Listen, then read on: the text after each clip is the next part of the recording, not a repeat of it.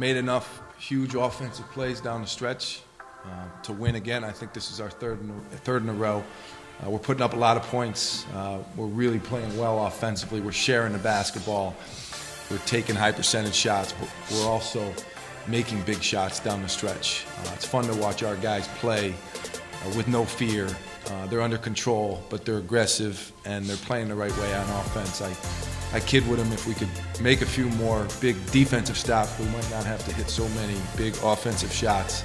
Uh, but that being said, great day, especially for these two guys, and uh, a good Valentine, Valentine's Day victory for the boys. Uh, I'm not sure that we were at that point uh, two months ago uh, where we could win a game without Jihad. I mean, he's our guy, he's our warrior, he's our engine. He makes us go, uh, makes us better every day, and I think that he's had enough of an impact on the guys around him that we got enough guys that are confident and fearless now that, that play that way that we could pull out a game like tonight without Jihad for the final four minutes. And I don't think we could have done that uh, a couple months ago. So that's a great sign for us.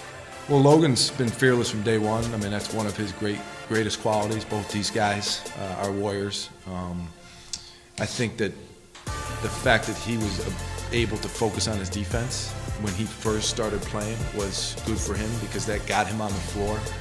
It allowed him to play through some mistakes and get to feel comfortable offensively. And I think that's what you're seeing in the last couple of weeks is a guy, okay, I, have been on the floor, I've played through my mistakes, um, and now I'm comfortable. And when he's comfortable, um, he's a very good offense player. Now he's contributing on both ends of the floor, which is great for us.